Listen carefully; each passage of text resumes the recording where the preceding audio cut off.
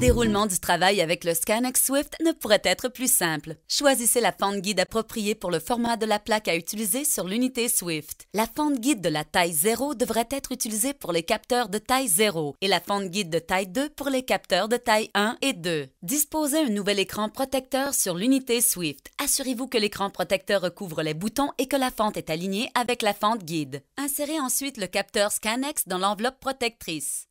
Démarrez le logiciel d'imagerie, sélectionnez le patient et la résolution désirée. Placez le capteur dans la bouche du patient en faisant appel à un guide de positionnement standard, comme il est illustré ici, ou à une languette interproximale.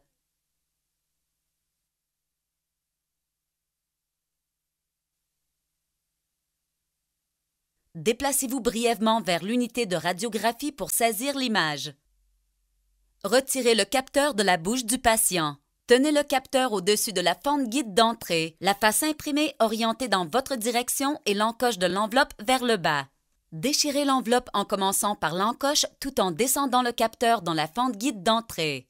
Poussez le capteur vers le bas jusqu'à ce que le mécanisme de l'unité déplace automatiquement le capteur. Ensuite, 9 secondes seulement après avoir inséré le capteur dans l'unité, votre image est prête. Swift. Plus confortable pour vos patients, facile à utiliser pour les membres de votre équipe. Toutes les radiographies que vous voulez.